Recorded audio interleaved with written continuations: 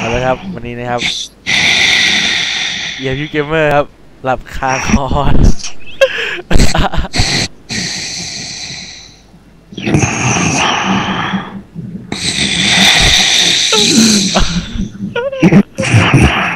แต่นี้นะครับ เรื่องจริงครับ เวลาเที่ยงคืนนะครับผม